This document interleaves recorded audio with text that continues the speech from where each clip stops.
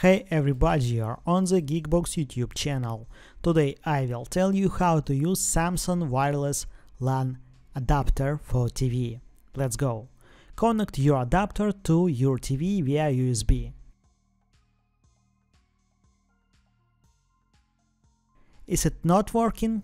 This is an outdated device.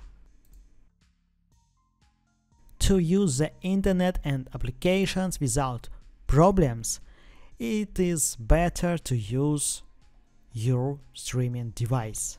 Roku TV, Amazon Fire Stick or Chromecast with Google TV.